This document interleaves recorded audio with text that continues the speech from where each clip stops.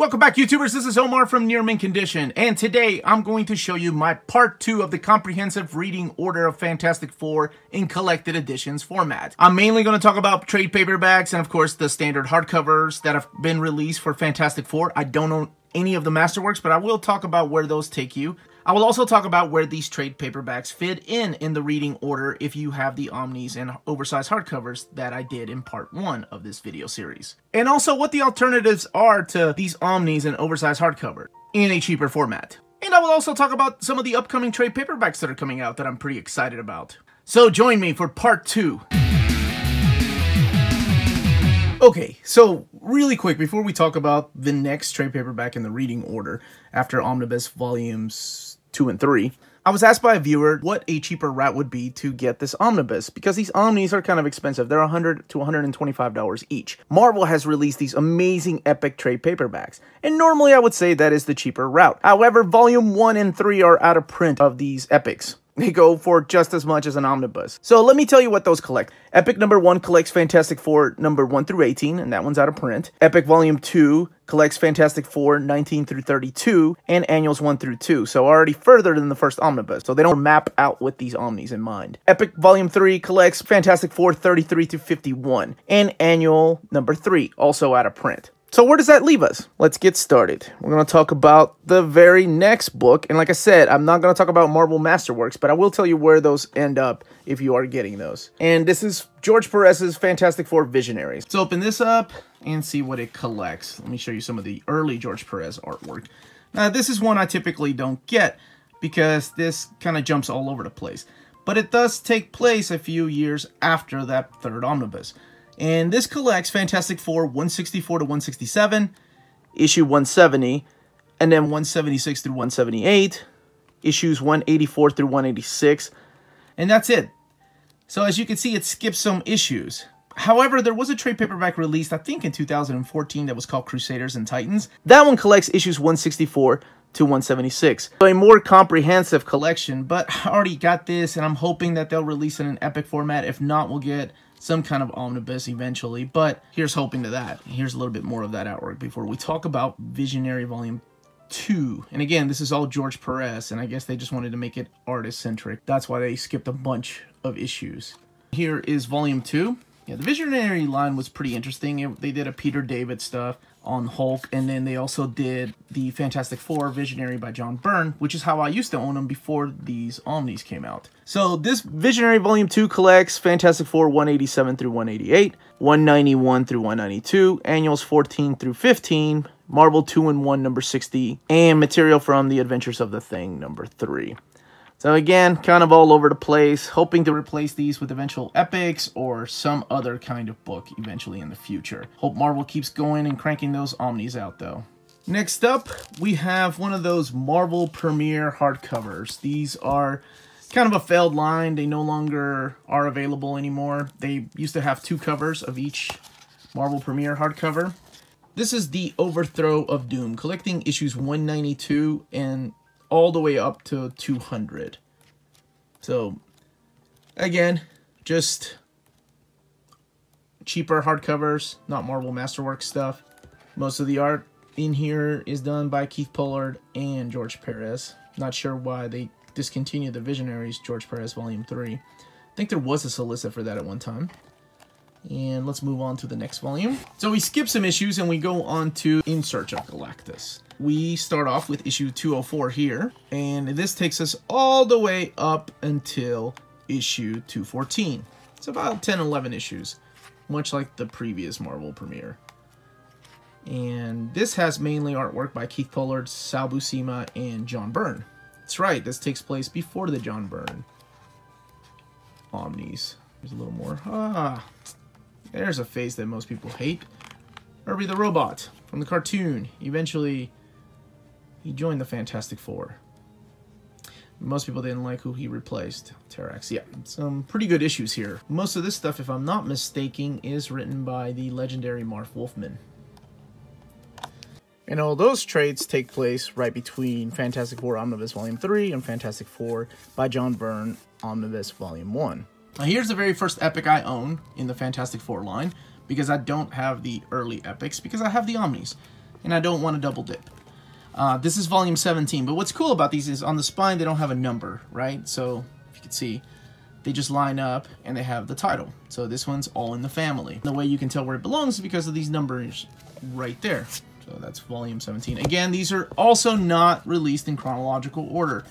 Just because we got a volume 1 doesn't mean 2 and 3 follow right afterwards. No, they jumped around. We still don't have a volume 18, for example. But anyway, uh, volume 17 collects issues of Fantastic Four 296 through 307. So this literally is right after the John Byrne Omnibus Volume 2. And Fantastic Four Annual Number 20 and Fantastic Four versus the X-Men 1 through 4, which is one of my favorite stories written by Chris Claremont.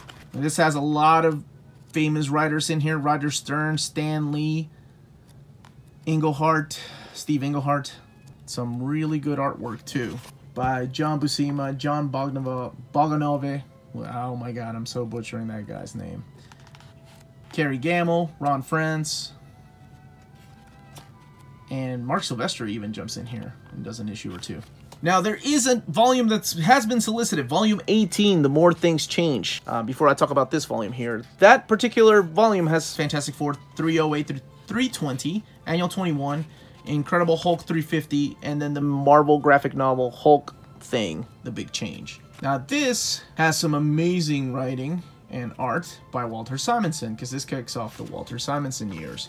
One that I wish they would do an omnibus of. I really love the beginning of his run, the middle of his run, and the badass end of his run, which is collected in the next epic. This epic, Into the Time Stream, collects issues 334 to 346, Annual 23, uh, some material from New Mutants Annual number 6, X Factor Annual number 5, and X Men Annual number 14. And of course, that is the Days of Future Present crossover. And I collect that in the oversized hardcover if you saw my X Men comprehensive reading order. There's that badass Ahab when everybody thought he was supposed to be Cable. Some gorgeous artwork by Arthur Adams.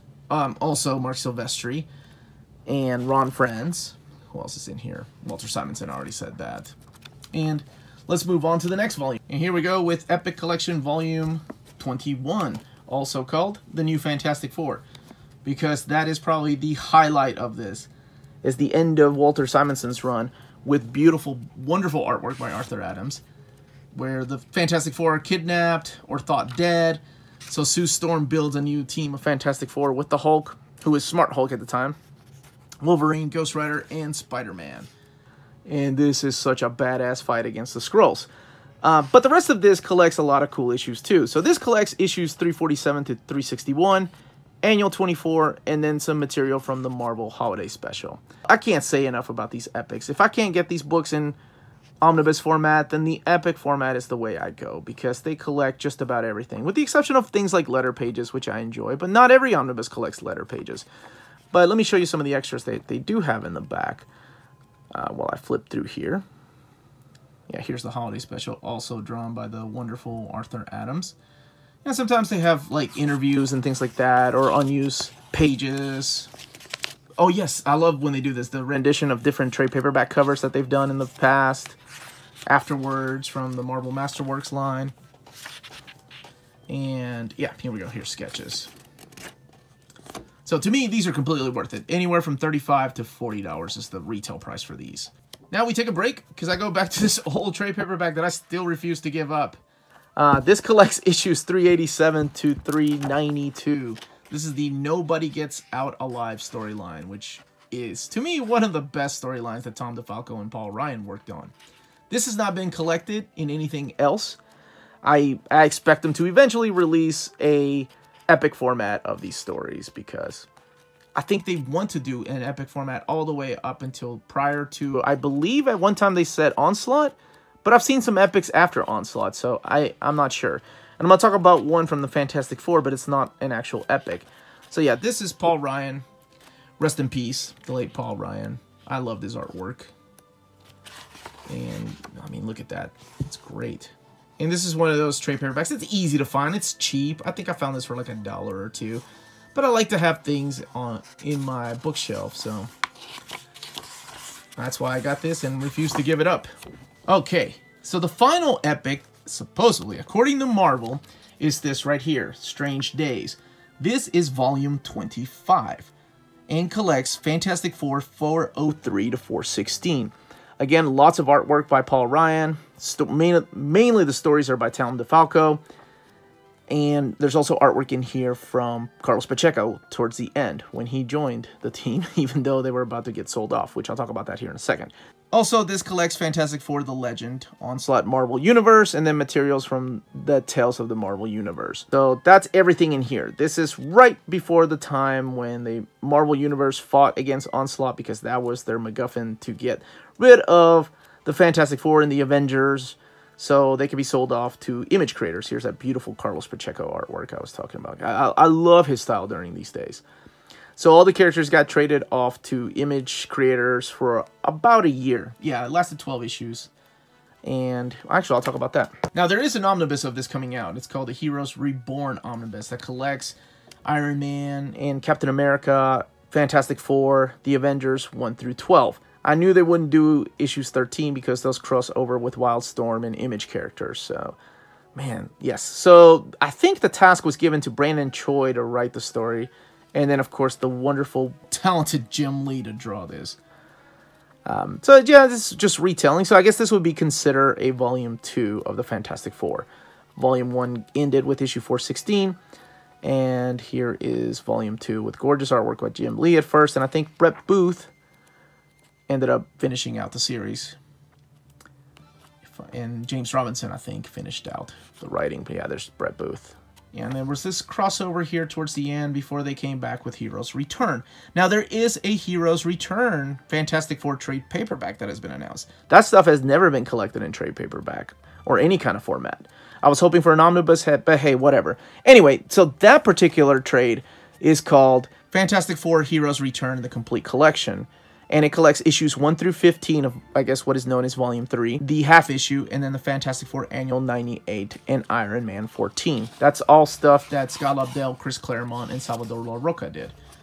And here's just a few more pages of this stuff, some of the sketches in the back. But all of this will be available in omnibus format eventually here in a couple of months, I believe, if you want to go that route. And after you get that trade paperback, if you want to go back and find these old things, this is Flesh and Stone collecting volumes 3, issues 35 through 39. These are co-written by Carlos Pacheco, actually, and also his wonderful art. Look at this. This is gorgeous. I'm surprised they haven't re-released this. Uh, because he did two runs. He did a kind of a big run. He also did the the next book here, which I'll show you. This is the older one. This collects issues 40 through 49, and this is Into the Breach. I'm sorry, 40 through 45. This one's a little nicer because it's got that glossy paper, but also Carlos Pacheco on art. And I think he had a co-writer during this time too. But yeah, these are just two small trade paperbacks. I'm sure these will be eventually released in epic format. But if you're impatient like I am, you go ahead and get these cheap trade paperbacks from a third party. And just a little more of that art before his run is finished up. By this point here, Carlos Pacheco still on artwork. By the way, this is another one of those Marvel Premiere hardcovers. Uh, this is the Resurrection of Galactus. Spoilers. And this collects issues 46 through 50. So more of Carlos Pacheco, Leinil Francis Yu, and Jeph Loeb is writing, or co-plotting and co-writing the story at the time. I'll show more of that artwork here. This also collects Fantastic Four Annual 2000 all the way up until the end of his run. It's Tom Grummett on artwork here. Leading up to Fantastic Four, The Inhumans. Collecting the Inhumans miniseries 1 through 4 with beautiful, beautiful artwork by Ladrönn. Now, you might have heard me talk about his artwork from Cable, but by now he is painting his own stuff. This guy is such a beautiful, very reminiscent of a lot of the European comics I have. I'm surprised they did not release this in an oversized hardcover format. And also collects Fantastic Four 51 through 54. Of course, if you notice by now, that leaves a little bit of a gap between this and the Fantastic Four by Mark Waid and Mike Wieringo that I did an overview of in the first part. So um, hopefully these will eventually be reprinted in Epic or a thicker trade paperback or those complete collections. They keep going with those that are kicking off at the middle of summer this year. All right, let's move on. Immediately after reading this, you move on to the Fantastic Four by Waid and Wieringo. Now that's also collected in trade paperbacks, of course, and those oversized hardcovers. Now with these, I got these really cheap, so that's why I got like a mixture of hardcovers and trade paperbacks and things like that. But this is the beginning of J. Michael Straczynski's run and Mike McKone. Now, if you can see here, this is the same size as these, so that's why I didn't include this in an oversized hardcover. Because it is literally just a trade paperback in a nice format. And you can probably tell it doesn't have a volume, or it has a volume 1, but to a new reader, it would be like, okay, where do I start? Volume 1? Another volume 1? That's why I'm doing these kind of things. Moving on. So this collects issues 527 to 532. And I really love this artwork. Actually, this was a really good run. This gave me hope for the Fantastic Four after Mark Waid left. I was like, oh, good, they got another talented writer. Because I was reading JMS's run. Let's go and talk about the Life Fantastic while I keep going. I was reading his run of Amazing Spider-Man and really dug it. With the exception of Sins Past. And, of course, One More Day, which was not technically his fault. Now, some of this stuff here, this is the Life Fantastic, issues 533 to 535 all of that was collected in the Hulk Planet Hulk omnibus. So if you own that, you'll be double dipping by getting this.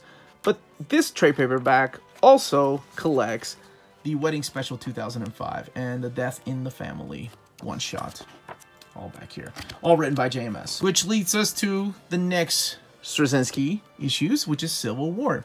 Collecting issues 538 to 543. Now, if you've noticed, they have skipped issues 536 and 537. Those issues are also collected in the Thor by Straczynski Omnibus or the trade paperbacks. I really enjoyed this part. I wasn't a big fan of Civil War at all, but I really enjoy the Fantastic Four aspects of it. I Thought they were really good.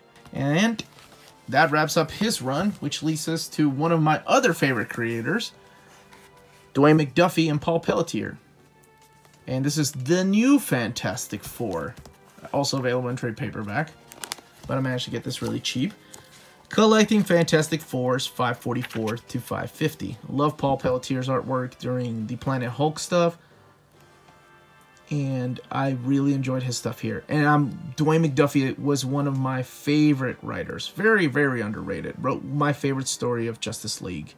Which a couple years ago I did must-read Justice League stories. And that was, of course, the Injustice League story.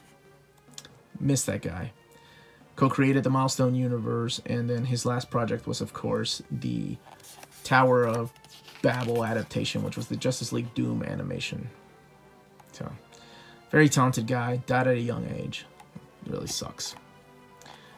And let's see, the final issues of him, his stuff, Dwayne McDuffie stuff, the beginning of the end, is collected in this little trade paperback. More Paul Pelletier artwork. Tom Grummett took over the run because they told McDuffie that he was off the book and he, he just barely started because they were getting this other writer coming in, one of my least favorite writers. Um, anyway, this collects issues 525 to 526. Now, those issues fit in, that's right, right after the Mark Waid and Mike Wieringo omnibus and that first JMS trade paperback. But it also collects issues 551 to 553. So that wraps up his run, sadly. Because the next guy that took over, yeah, Mark Millar, one of my least favorite writers, gets to write the world's greatest magazine right after Dwayne McDuffie. Now, his run was okay. He didn't even get to finish it because, I don't know, he had moved on to Image by then. So, creator own series or whatever. I'm not really sure. Like I said, I'm not the biggest fan of Mark Millar. I think he's really overrated, but that's just my opinion. But let's get back to what we were talking about. This right here, this collection, World's Greatest, collects Fantastic Four 554 to 561. And let's get to the last volume here. This right here, Master of Doom. And as I mentioned, Mark Millar didn't even get to finish writing it. I think Joe Ahearne wrote it. Bryan Hitch drew most of it. Actually, I think he drew all of it with a little help there towards the end. But this collects issues 562 to 569, finishing out that run. And there was a one time a solicitation for an omnibus of all this stuff. And as much as I hated this run, did I pre-order it? You're goddamn right I pre-ordered it because I'm a damn consumer whore. I, I love those stupid omnibus formats. And Bryan's Hitch artwork. Yeah, this is the other guy that did that one issue.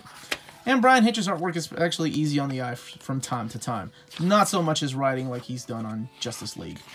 Everything I just talked about takes place right between Fantastic Four by Mark Waid, Omnibus, and Fantastic Four by Jonathan Hickman, Omnibus Volume 1. Then we get, of course, this Matt Fraction Omnibus, which I talked about. And all of these, by the way, with the exception of the John Byrne stuff, is available in easy-to-find trade paperbacks. Right after the Matt Fraction run, we get James Robinson. And I want to say he is probably in my top 10 favorite writers of all time. This is with Leonard Kirk on artwork.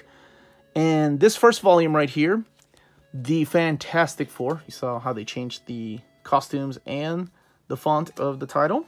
This volume is called The Fall of the Fantastic Four and collects, I guess, what would be now known as Volume 5 because Volume 4 was by Matt Fraction all the way up to issue 611. These damn renumberings. Anyway, trust me, it, this happens right after the Matt Fraction run, which collects us all the way up to 611. And this restarts the numbering system. So this is now volume 5 of Fantastic Four and collects issues 1 through 5. Here we have the very first tie-in to a crossover event, Original Sin, collecting issues 6 through 10.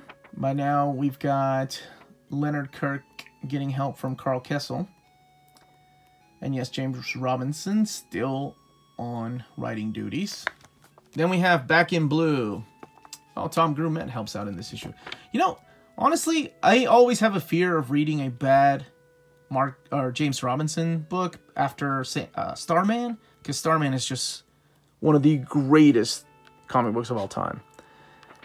And that's why I think James Robinson is one of my favorite writers, even though his run on Justice League was not that much beloved. But hey, you can't win them all, but I don't know. I'm digging this, and I dig this Scarlet Witch. But I really like this run. Um, anyway, this collects Fantastic Four Annual Number 1 of Volume 5, and then 11 through 14. But not to worry, the series is about to get canceled. Because we have one more volume right here, The End of Forever. The End is Forever. Omar read Pretty one day. And this collects the final issues of James Robinson's run with Leonard Kirk on art. They go back to the original numbering system of 642 to 645. So what would have been 15 is now 642 again. And the Marvel 75th anniversary celebration, Fantastic Four story. Of course, they canceled this because Marvel was just being a little baby about not owning the rights to the movies. So they went ahead and canceled the greatest magazine of all time. Now, it is back under the hands of Dan Slott and Sara Pichelli. So that's awesome. And I did want to talk about briefly, just really, really quick while I flip through here, that the Masterworks, the Marvel Masterworks, the ones that I don't collect, have taken us all the way to issue 231 in Annual 15. So before in the past, we had talked about how the Omnis are really based on how much Masterworks stuff we have collected. And I don't know if that's true anymore, honestly. The way these things are mapped out, I don't think that's the way it works. Here's that 75th anniversary magazine. And that's it. And that was part two of my comprehensive reading order of Fantastic Four in collected editions format. If I left anything out, please let me know in the comments down below. If this is your first time watching these videos, please don't forget to hit that subscribe and like button if you enjoyed what you saw. Even if you didn't, or if you slightly liked it. And leave comments down below about what other series you want to see. I've seen all kinds of things from Batgirl to Captain America to Ghost Rider, and if I haven't, believe me, I would love to do it because I enjoy doing these things. I wish they had videos like these when I was starting my collection in collected editions. Don't forget to check out our weekly Old Reader, New Reader segment. It's a live show that happens every Tuesday at 8 o'clock Eastern Standard Time. We'd love for more people to come and join and talk to us about some of these old books because we do have the Fantastic Four Waid and Ringo arc coming up this month in January sometime. So really excited to talk about that. Again, this was Omar, and remember, if it's classy and cool, it must be near mint.